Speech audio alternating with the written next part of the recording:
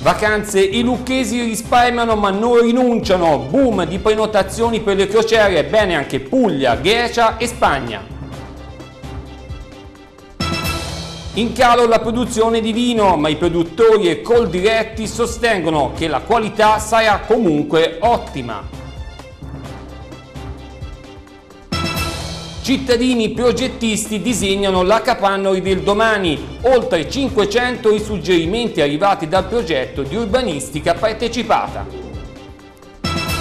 Completato il roster della Ercantea, al raduno del 16 ci saranno anche Banti e Zanotti.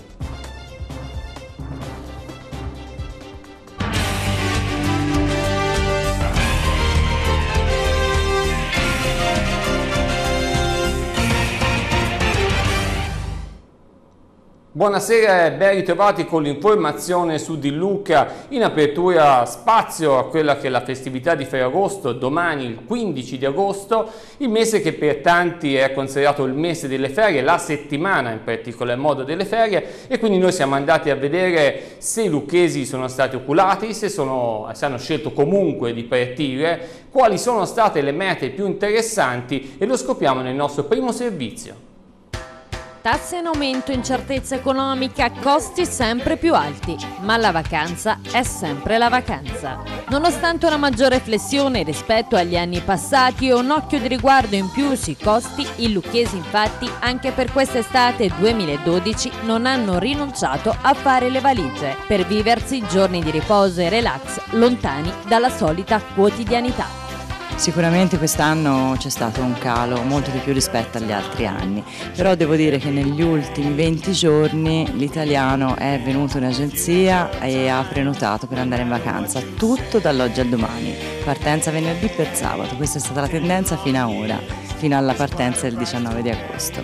Quest'anno c'è stata una, diciamo, una forte ehm, eh, cura al prezzo e sono stati molto più parsimoniosi e sono stati diciamo, i lucchesi in particolare molto attenti al, all'offerta, a non sforare il budget previsto. Un desiderio di viaggiare rimane, quali sono le mete più ambite? L'Italia viene ancora scelta oppure visti i prezzi che magari tante volte è più conveniente andare all'estero, la gente se vuole andare in vacanza e spende preferisce andare oltre confine? Allora sicuramente la Puglia, tantissima Puglia quest'anno, la Sardegna con i pacchetti fatti perché i, i, prezzi dei traghetti sono troppo alti perciò non siamo riusciti a prenotarli, solo i traghetti abbinati ai soggiorni. E poi le mete classiche, Baleari più di tutti, più anche della Grecia e tante crociere, quest'anno è stato l'anno delle crociere. L'Italia è stata scelta se a parità eh, diciamo, di condizioni c'era un parità di prezzo, altrimenti diciamo, un, quest'anno è stato più il prezzo a fare la vacanza che non eh, la destinazione. Però hanno retto molto la Grecia, la Spagna e anche la Sardegna laddove l'offerta comprendeva il traghetto gratuito. E se per quest'estate qualcuno si è affidato ai last minute non trovando però grossi sconti perché tour operator non hanno diminuito i costi, c'è chi invece degli sconti ne approfitta pensando già a prenotare la vacanza per il Capodanno. Il Capodanno è già partito, da un mesetto circa le persone che vogliono fare viaggi più importanti prenotano già il Capodanno, le mete più ambite, Maldive, Mauritius, la Thailandia, ecco il Capodanno è già stato prenotato.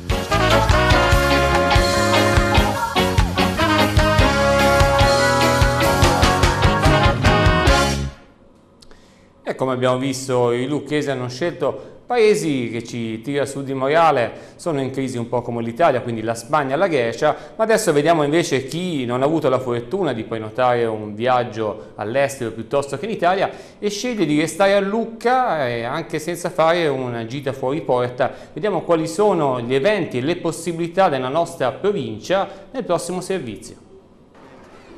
Cultura, arte, ma anche sport, cibo e attimi di relax tra sole e acqua ma lontani dal mare. Se per Ferragosto non avete intenzione di prendere l'auto per raggiungere la costa o la montagna, optando per una giornata di festa all'insegna della calma e della lucchesità, non disperate. Qualcosa da fare non vi mancherà. Chi ama l'arte potrà cogliere l'occasione offertagli dalla direzione dei Musei Nazionali di Lucca che ha deciso di lasciare aperti, eccezionalmente dalle 8.30 alle 13.30, Palazzo Mansi e Musei Nazionali di Villa Guinigi, dove sarà possibile ammirare la mostra Pittori a Lucca al tempo di Paolo Guinigi, Battista di Gerio in San Quirico all'Olivo. Dopo una visita alla mostra e magari un giro in un centro città privo di facce note ma colmo di tanti turisti, coloro che vogliono godersi un po' di sano relax prendendo anche un po' di tintarella possono recarsi al parco fluviale dove sarà possibile anche fare rafting, una bella discesa a bordo di morbidi e sicuri gommoni in compagnia di guide esperte per scoprire scorci inediti e segreti di Lucca. E se poi si è stanchi di cucinare, due le opzioni che la Piana mette a disposizione dei suoi cittadini, un ristorante o tortelli, grigliata e specialità nostrane alla festa di Noè, promossa dall'Associazione Sportiva Parigi a Camigliano. La Piana pensa poi anche agli sportivi che nemmeno in un giorno di festa vogliono riposarsi. Per loro l'alternativa ad arte e relax la offre il territorio di Altopascio. Come ormai da tradizione anche per questo Ferragosto lungo le strade del comune del Tau si svolgerà la 32esima edizione del trofeo Carlo Alberto Pellegrini. A Marginone infatti alle ore 14.30 sarà dato il via a questo importante appuntamento per il ciclismo in provincia di Lucca che porta lungo le strade molti appassionati sportivi. E chiudiamo la pagina del 3 agosto e apriamo quella della cronaca. Sono state completate le operazioni di sequestro partite nel deposito di Alto Pascio delle confezioni di polpo in pezzi da parte degli uomini della Guardia Costiera di Livorno e Viareggio. In tutto adesso sono oltre 8 le tonnellate di prodotto spagnolo sequestrate presso una nota catena di supermercati a livello nazionale. La misura è stata disposta a seguito delle conferme pervenute dall'Istituto Zooprofilattico di Torino Torino che ha confermato che all'interno delle, delle scatolette invece del polpo c'era solo totano gigante del Pacifico. E cambiamo ancora pagina e passiamo a quella della viticoltura. La siccità sta mettendo a dura prova le produzioni agricole per far fronte all'ondata di caldo i produttori di vino hanno scelto di anticipare la vendemmia. Noi siamo andati a Monte Carlo a monitorare la situazione. Il servizio. Come negli ultimi quattro anni, anche la vendemmia 2012, o sarebbe meglio dire soprattutto quella del 2012, sarà problematica. I fattori scatenanti, le copiose piogge di maggio ed il prolungato periodo di siccità che pare si protrarrà almeno fino a settembre. Stamani abbiamo fatto visita alle aziende di Monte Carlo per capire se il prodotto tipico del comune della Piana subirà grossi scompensi che a livello nazionale le associazioni di settore temono con una produzione che dicono diminuirà di almeno il 20%. La situazione nella città del vino non è ovviamente rosea, con il rosso, specialmente quello delle vigne francesi come il Syrah ed il Cabernet, che certamente subirà un calo di produzione, che Eugenio Fontana della Fattoria del Buonamico ci dice seguirà la tendenza nazionale. Discorso diverso invece per il bianco, in quanto la vendemmia del DOC di Monte Carlo è precedente rispetto a quella del rosso, così da non asciugare troppo l'uva che trovata carenza di acqua nel terreno tende a seccare il grappolo. I produttori sono sicuri che la vendemmia 2012, che sarà anticipata di qualche settimana,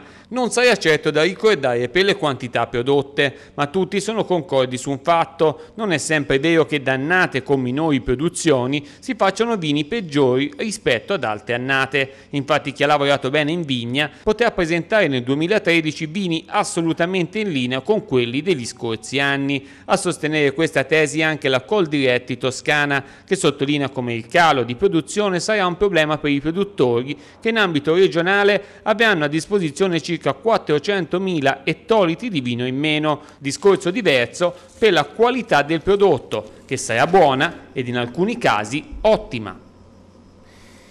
E parliamo adesso di urbanistica e ci spostiamo sul territorio di Capannori dove molti cittadini hanno preso a cuore la proposta lanciata dall'amministrazione del Ghinghero di partecipare alla realizzazione di opere pubbliche. Oltre 500 infatti le proposte arrivate al comune.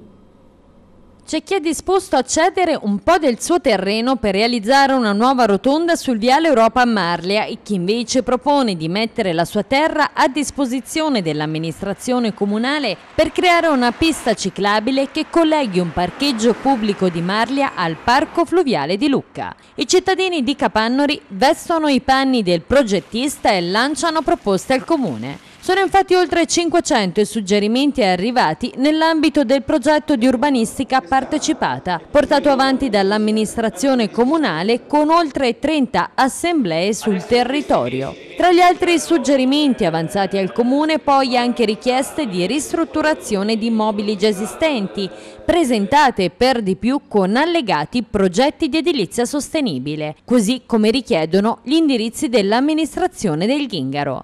Adesso le ipotesi di pianificazione urbanistica pervenute saranno valutate dagli uffici competenti. Affinché una proposta trovi accoglimento infatti dovrà risultare in linea con gli indirizzi votati unanimamente dal Consiglio Comunale e sostenibili dal punto di vista tecnico. Per quanto riguarda in particolare le nuove edificazioni, le decisioni dell'ente municipale saranno assunte tenendo conto delle previsioni già esistenti nel regolamento urbanistico e ancora non edificati, delle potenzialità di recupero e dell'invenduto. Per illustrare ai cittadini le varie proposte, il vice sindaco Luca Menesini e l'assessore all'urbanistica Claudio Ghilardi organizzeranno nel mese di settembre settembre tre incontri rispettivamente per le frazioni del centro, del nord e del sud di Capannori. Torniamo adesso a parlare del futuro incerto delle province, specialmente quella di Lucca e a scendere in campo stavolta fattivamente è il, è il, movimento per Lucca e i suoi paesi che ritiene che il sindaco ed il consiglio comunale debbano far pervenire al consiglio delle autonomie locali e alla regione toscana un documento in cui in modo chiaro e preciso si specifichi che qualora venga superato l'obbligo di fusione della provincia di Lucca con quella di Prato e Pistoia questa non vuole in nessun modo finire nell'area vasta con Pisa e Livorno, ma vuole costruire, secondo anche la tesi del Presidente della provincia Baccelli, l'accorpamento esclusivamente col territorio di Massa Carrara, un nuovo ente che, dicono loro, soddisferebbe in pieno le specifiche imposte dal decreto di riordino. A tal fine il movimento, a partire dal pomeriggio di sabato 18 agosto e per i sabati successivi, sarà presente in via Beccheria con un gazebo in cui si potrà firmare un documento che sarà poi consegnato al sindaco Tambellini. L'obiettivo, neanche tanto presuntuoso, è quello di ottenere mille firme.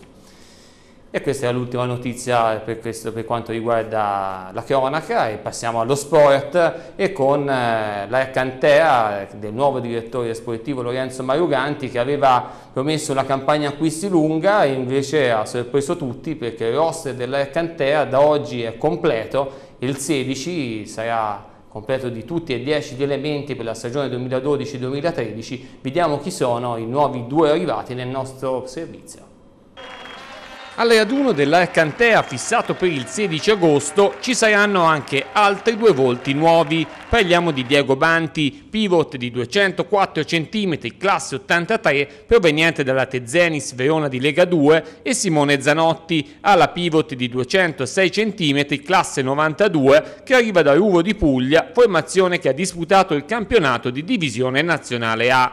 Banti è una vecchia conoscenza del basket toscano, pesciatino di nascita, ha giocato a lungo nelle fila di Montecatini dove 12 anni fa ha esordito in Serie A un giocatore che fa dell'ottima predisposizione al lavoro e del gioco nella metà campo difensiva un marchio di fabbrica e che consente a coach russo di alternare nel ruolo di 5 l'esperienza di Banti all'esuberanza di Crotta e dello stesso Zanotti. Il palmarès del giocatore parla chiaro, quando ha giocato in divisione nazionale A il suo contributo è stato spesso determinante per la promozione delle squadre nelle quali ha militato. Simone Zanotti è cresciuto invece in uno dei migliori valori vivai d'Italia, ovvero quello di Reggio Emilia, col quale ha disputato moltissime finali nazionali. Roberto Russo lo ha scelto per la sua duttilità, Infatti Zanotti può ricoprire entrambi i ruoli interni ed integrarsi bene con giocatori più specifici come Santa Rossa e Banti. Il coach è fiducioso che possa migliorare dal punto di vista della continuità e dell'agonismo, così come per gli altri giovani inseriti nel roster 2012-2013. Chiusura quindi col botto per la campagna acquisti dell'Arcantea che prima di Ferragosto ha già completato la squadra per il prossimo campionato, un fattore che potrebbe essere determinante per costruire il gruppo, uno dei principali segreti del successo delle formazioni guidate dal coach livornese. E se l'Arcantera con questi due nuovi acquisti ha terminato la campagna acquisti per l'appunto, il Basket Lemuria invece ha messo a segno un ulteriore colpo di mercato per quanto riguarda il settore delle piccole con una giovane promessa del basket italiano. Nel prossimo servizio facciamo il punto su come si svilupperanno le due stagioni sia del basket maschile e anche per quanto riguarda il basket femminile del basket Lemuria Città di Lucca. Se la stagione ufficiale del calcio è ormai alle porte, non lo si può dire per quella della pallacanestro, ma se è vero che il campionato dell'Arcantea inizierà solo il 30 settembre prossimo sul campo di Chieti, è altrettanto che la scelta della Lega di far disputare un campionato a 20 squadre rende la prestagione particolarmente importante. È per questo che i ragazzi a disposizione di coach Roberto Russo si riuniranno già da giovedì 16 agosto per i test psicofisici, per poi cominciare a mettere su chilometri nelle gambe e nuovo affiatamento di squadra dal 20 agosto prossimo. Ci vorrà senz'altro applicazione per sostenere una preparazione che la passata annata ha dimostrato di essere una delle chiavi del successo dei biancorossi. Infatti il gioco del coach livornese necessita che la squadra sia da un punto di vista fisico al 100% 100% per garantire continuità di rendimento dalle due parti del campo. Discorso diverso invece per le ragazze del basket Lemuria che dopo le conferme di Andrade e Bagnara ed il vicino rinnovo di Rusicova sono alle prese con un mercato che apre grandi spazi di manovra soprattutto in previsione futura visto che sia Como che Sesto San Giovanni hanno dovuto issare bandiera bianca. Dopo l'arrivo di Spreafico si aggiunge anche quel playmaker giovane da affiancare alla Gianolla invocato da coach Diamanti. Si tratta di Francesca Dotto, 19 anni, proveniente dal San Martino di Lupari, formazione che milita nel campionato di Serie A2, che nella passata stagione è andata a referto con oltre 8 punti di media, giocando 22 minuti a gara. Al momento si trova in Ungheria, aggregata alla nazionale Under 20 italiana. E prima di chiudere una notizia di ciclismo, è il quarto posto di eh, Valentina Scandolara scusate, a caratterizzare l'ultimo weekend di corse per la Michela Fanini Record Rocks. In Olanda la 22enne Veneta ha lavorato per la squadra azzurra per gran parte della gara in linea, poi nel finale non ha avuto molta fortuna. L'atleta ha comunque dimostrato di aver recuperato le forze per concludere l'annata con altri buoni risultati. Bene anche il resto della squadra di patron Brunello Fanini che è impegnata alla Route de France. Oltre Alpe le ragazze dirette da Roberto Carube Lencioni hanno ottenuto un ottimo ottavo posto finale. La Michela Fanini tornerà a correre a fine mese al Giro della Toscana, prossimo, che inizierà dal prossimo 29 agosto. Ed era questa la nostra ultima notizia. Io vi ricordo che tutti i servizi li potrete vedere anche sul nostro sito www.dilluca.it oppure tramite lo smartphone, che sia un iPhone che sia Android, cambia veramente poco, Luca Notizie. Questo, eh, con questo io vi rimando ai prossimi appuntamenti con l'informazione che come al solito saranno per domani sera alle 19.